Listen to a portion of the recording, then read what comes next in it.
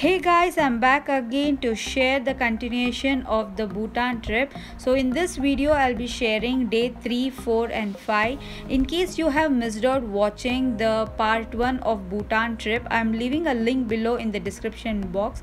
Please do watch and like and subscribe my channel.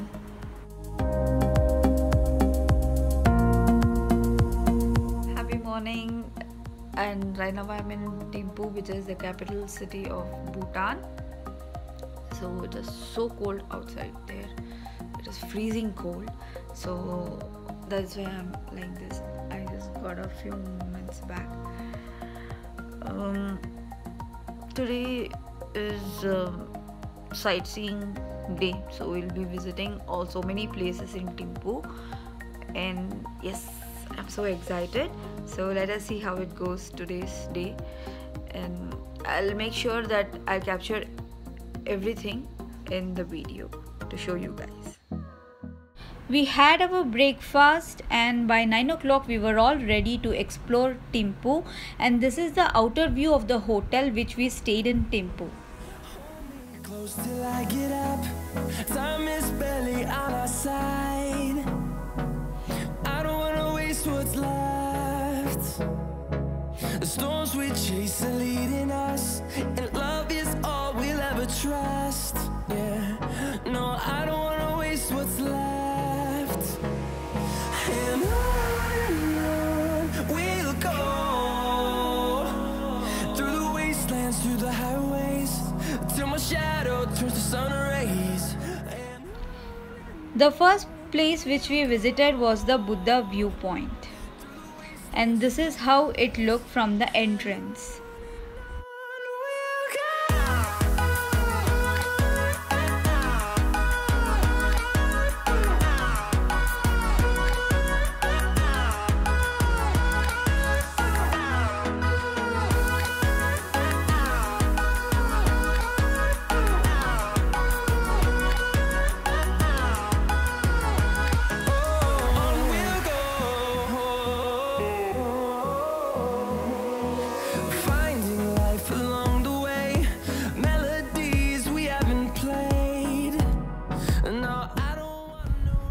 The moment we entered this Buddha viewpoint, we were amazed to see this gigantic Buddha statue which was present in between these beautiful mountains. They said that the construction was begun in the year 2006 and got finished in the year 2010. through the wastelands, through the highways, till my shadow turns to sun rays.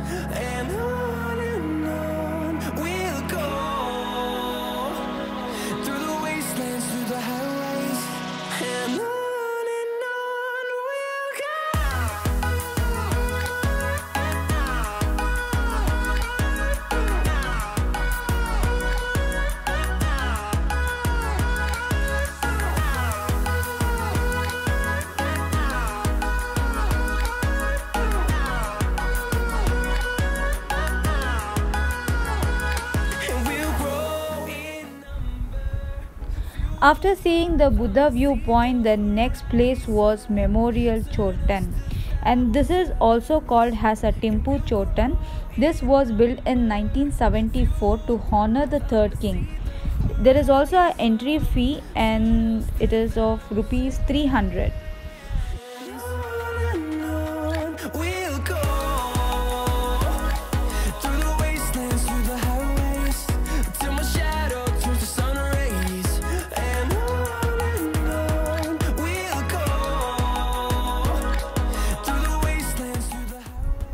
Since there was election going on, most of the restaurants were closed and finally we found this restaurant and we had our lunch in this restaurant and then next moved to the National Library.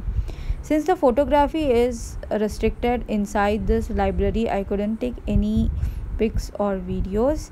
So this is the outer view of the National Library.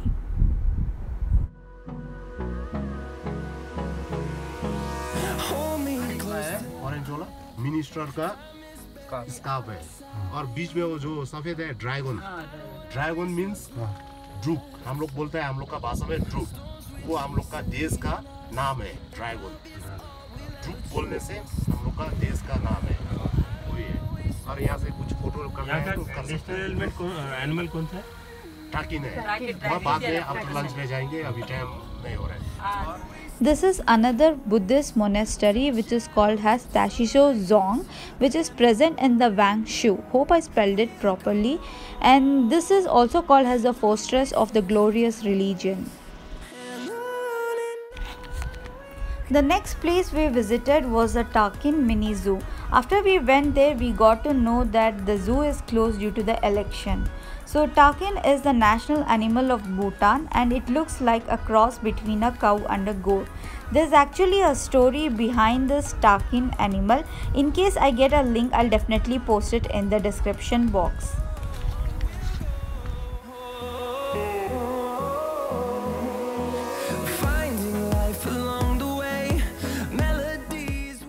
The next place was also a monastery. So to reach the monastery we need to climb around 35 to 40 steps to reach there. create a song. I don't wanna miss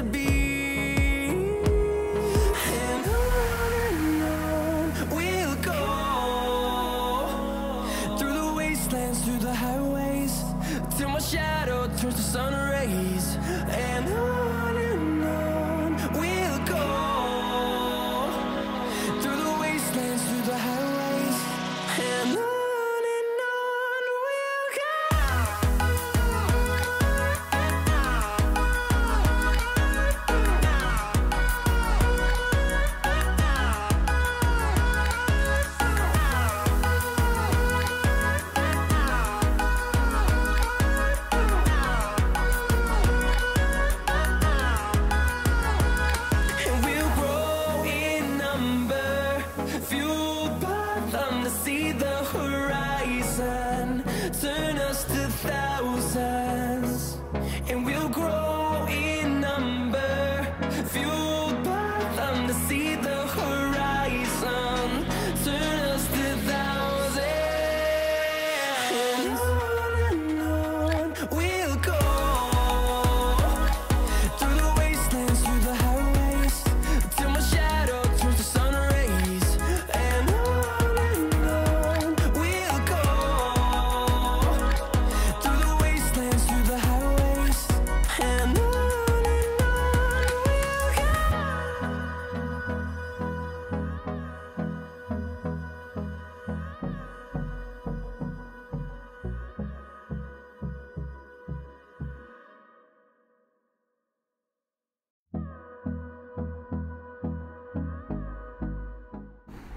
Here we are seeing the lowering of the flag in Tashichho Dzong. So this will happen every day at 5 pm.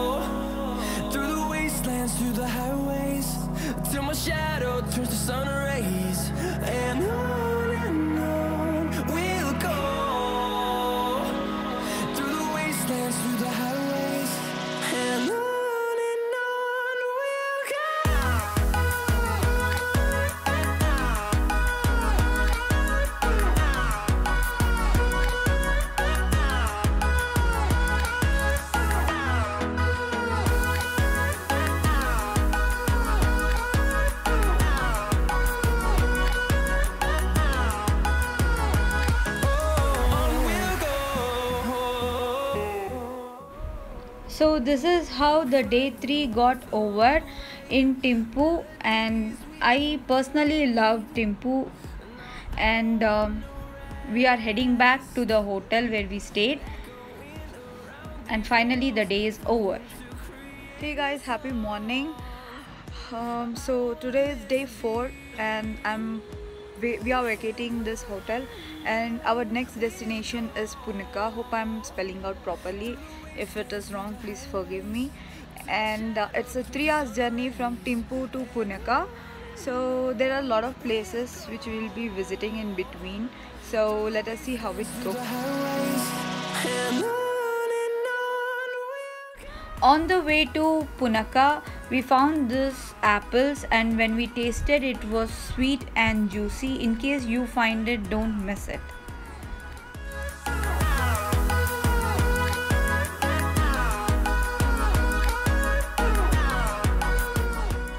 On the way to Punakha, we visited Dochula Pass, which is completely covered by fog. Trust me, guys, it was damn cold. Without socks, sweaters, or jackets, you really can't stay in that place. What you're seeing is now the 108th stupas, which was built by the eldest queen mother. Apart from this, you can also visit monastery, which is just opposite to this uh, stupas, and it was built in the honor of the fourth Druk.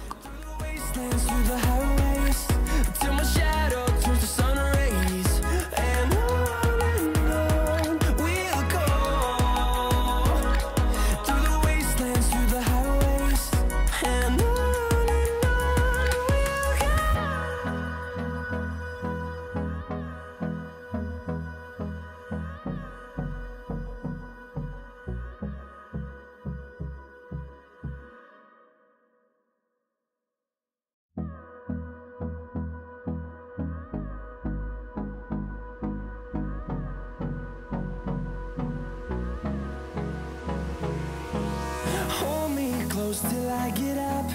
Time is barely on our side. I don't wanna waste what's left.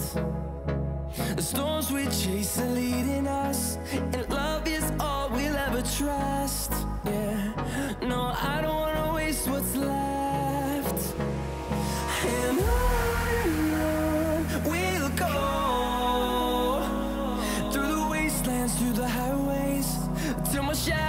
turns to sun rays.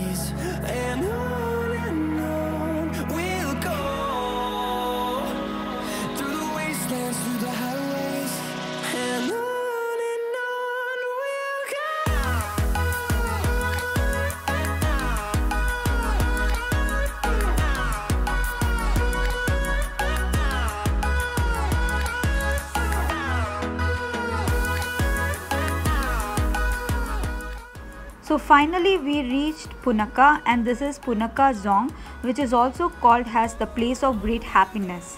It is the second oldest and largest Dzong in Bhutan. It was built in 1637 and served as the seat of the government. The entrance ticket for this Dzong is around 300 rupees. There are two river. One is the male and female river. So the name of the river is Mochu and Pochu.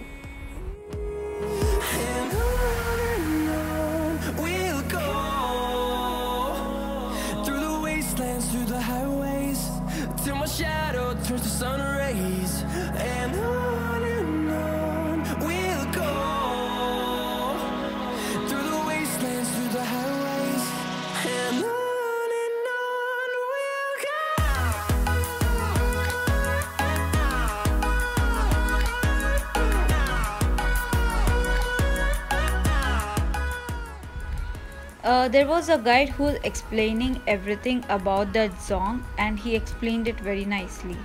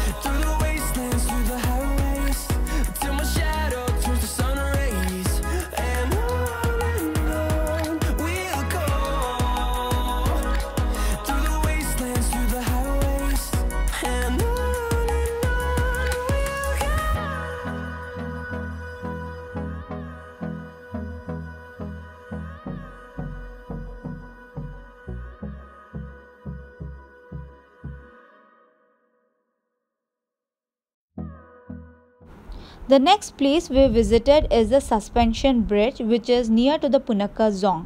This suspension bridge is the longest bridge and it is present in the Pochu river. The best month to visit the bridge is during summer and winter. It is said that during rainy season it is bit risky due to the strong winds. So to reach this place you need to walk a lot. No,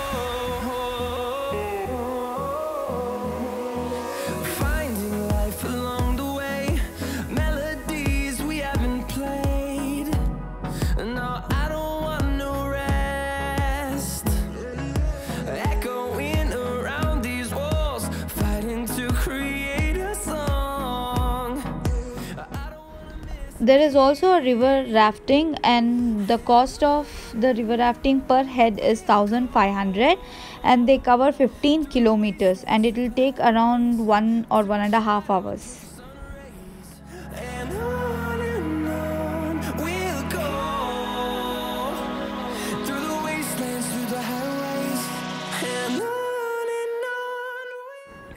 After a long day we came to the hotel and this is a small room tour.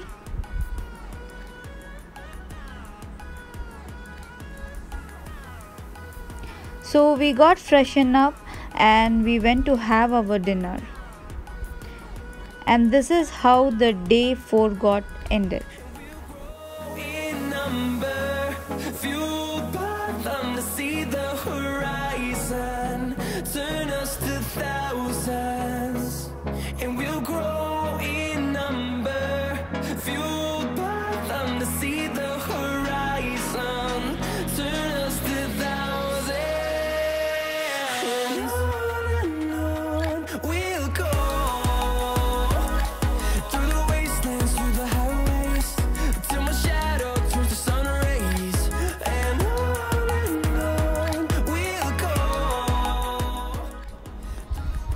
So this is day 5 and we are vacating this hotel and the next destination is Paro. So from Punakha to Paro it is around 127 kilometers. So this is the outer view of the hotel which we stayed in Punakha.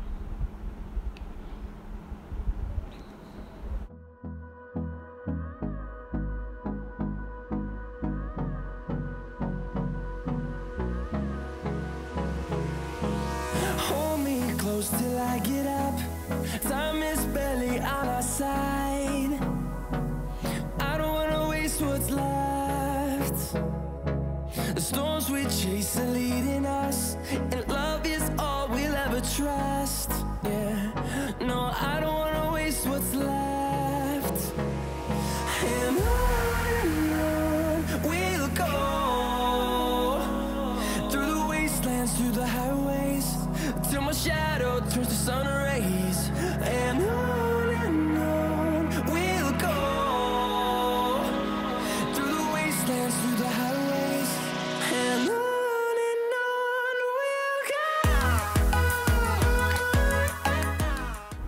On the way to Paro, we found this beautiful river, and we all decided to go near to the river and take some snaps. So I couldn't hold myself, so I just touched my feet into the water, and it was ice cold.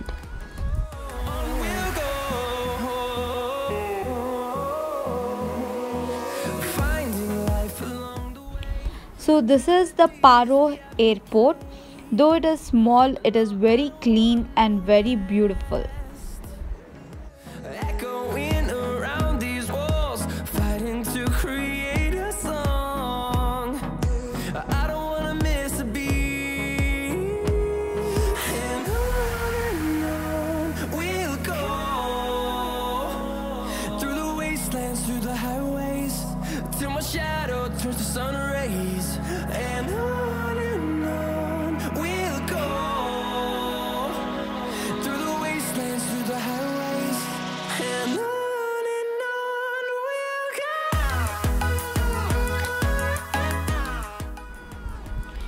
Right now we are in Paro and we decided to do some shopping and then check into the hotel. So when we started doing shopping, it the time was around 5:30. So Paro is a very beautiful city and the shopping is very costly there in case you guys want to do shopping then Phuentsholing is the best place for shopping when you compare the rates from paro or Thimphu Phuentsholing you get it in a much lesser price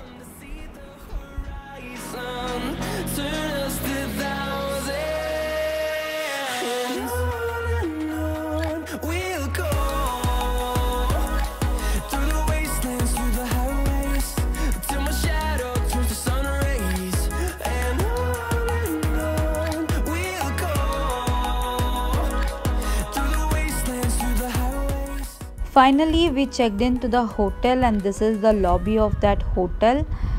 And from the paro city it, uh, this hotel is present around 15 kilometers far. And it was damn cold here when it is compared to the paro city. So this is a small room tour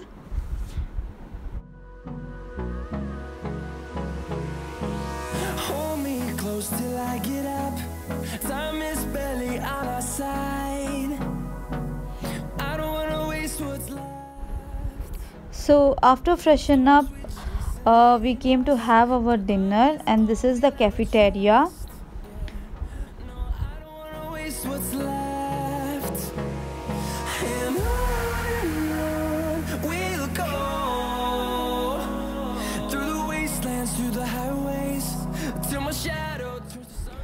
So this is how the day 5 got over and hope you enjoyed watching this video and please do like subscribe my channel. Take care bye bye